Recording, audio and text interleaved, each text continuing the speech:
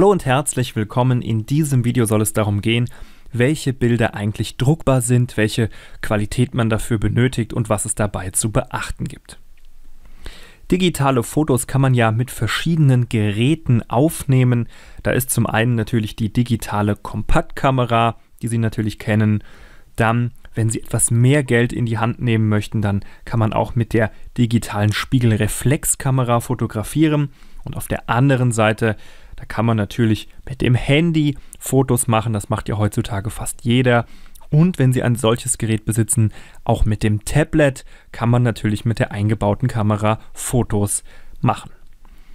Man kann diese Geräte im Prinzip unterscheiden zwischen echten Kameras, also Geräten, die wirklich zum Fotografieren gebaut wurden, und solchen anderen Geräten, die eben unter anderem eine Kamerafunktion besitzen, wie das Handy oder das Tablet. Und das wirkt sich natürlich auch ein bisschen darauf aus, wie die Qualität der Bilder ist und welche Bilder sich dann später auch vernünftig ausdrucken lassen. Klassische Formate zum Ausdrucken sind 10 x 15, ein normales Foto, wie man es zum Beispiel in ein Fotoalbum einkleben würde, oder 13 x 18, wenn man ein etwas größeres Foto haben möchte. Natürlich sind die Bilder, die man mit der digitalen Kompakt- oder Spiegelreflexkamera macht, wunderbar geeignet, um sie in diesen Formaten auszudrucken. Die Qualität dieser Kameras, die reicht natürlich vollkommen aus, um ein Bild in dieser Größe in vernünftiger Qualität zu drucken.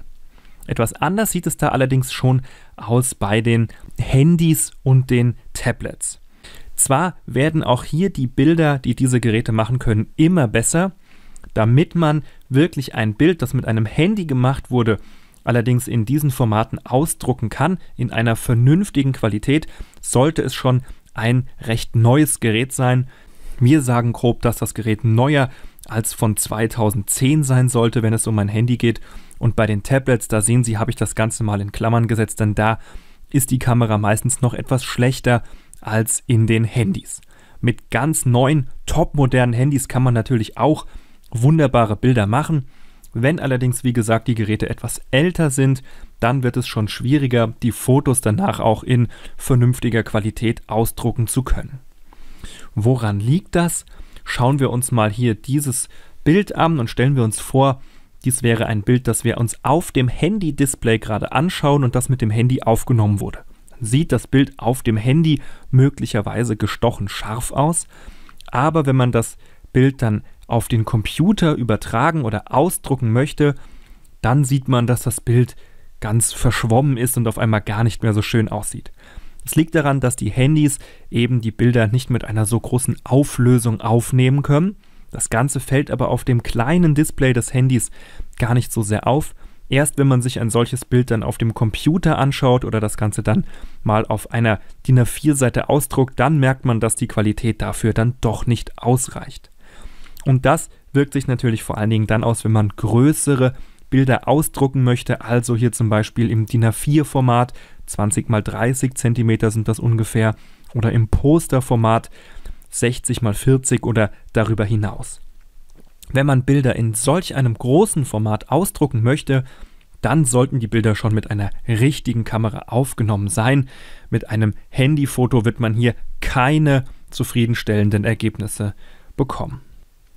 Das Ganze hängt zusammen mit dem Begriff des Megapixel, den Sie vielleicht auch schon einmal im Zusammenhang mit Kameras gehört haben. Ein Megapixel steht dabei für eine Million Bildpunkte. Das sind also die einzelnen Punkte, aus denen sich ein Bild zusammensetzt. Und je mehr Bildpunkte man hat, desto größer kann dann später auch das Bild ausgedruckt werden. Handys und Tablets nehmen ungefähr mit 1 bis 5 Megapixeln Bilder auf. Das hängt natürlich ganz stark vom Gerät ab und auch vom Alter des Geräts. Ganz aktuelle und teure Modelle können auch schon Bilder mit noch mehr Megapixeln aufnehmen und normale Digitalkameras, die nehmen Bilder mit 10 bis 20 Megapixel oder sogar noch darüber hinaus auf.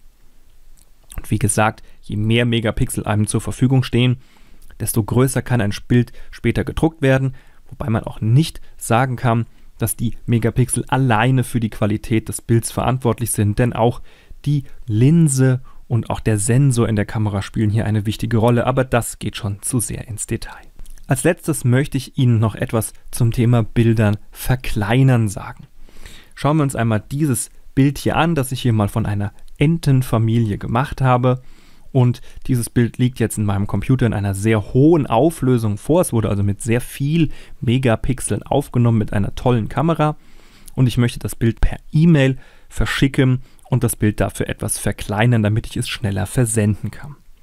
Wenn ich das mache, dann werden einige Bildpunkte sozusagen aus dem Bild entfernt und dabei für immer gelöscht.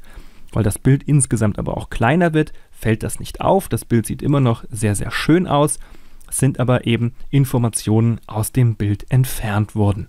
Das Bild setzt sich jetzt aus viel weniger Bildpunkten zusammen als das Bild davor. Es ist also einfach kleiner, wie man allgemein sagt.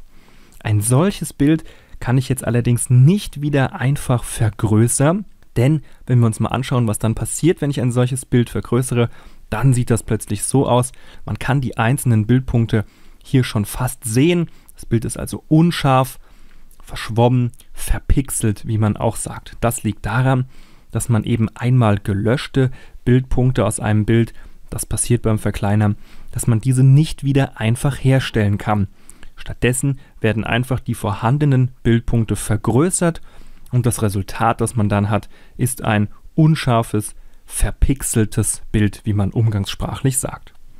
Auch solche Bilder, die einmal verkleinert wurden, lassen sich also nur schwer ausdrucken, denn wenn man diese großflächig ausdruckt, dann tritt genau dieser Effekt ein, den Sie hier gerade sehen können. Denken Sie daran, wenn Sie Bilder verkleinern oder zum Beispiel verkleinerte Bilder per E-Mail erhalten haben, dass man diese nicht einfach wieder groß zaubern kann.